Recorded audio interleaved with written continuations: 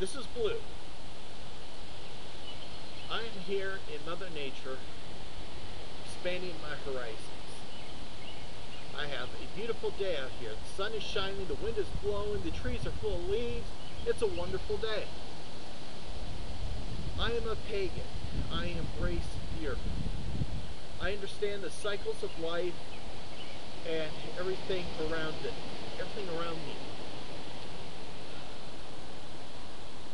I want religious freedom.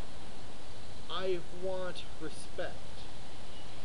I want to be able to do what I wish to do because it does not hurt anybody else.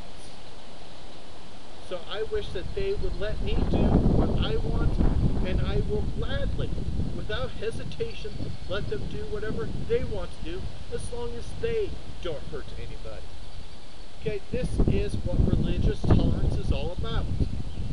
And that is accepting people. Okay? You want people to accept you for who you are, you need to accept others for who they are. Okay? Religious tolerance is a mutual thing.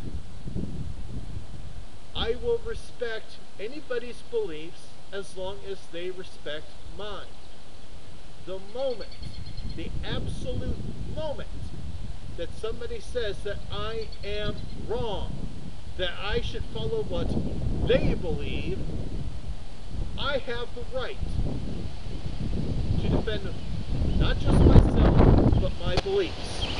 If I am told my beliefs are wrong, I have the re I have the right to tell them why I believe that their beliefs are wrong.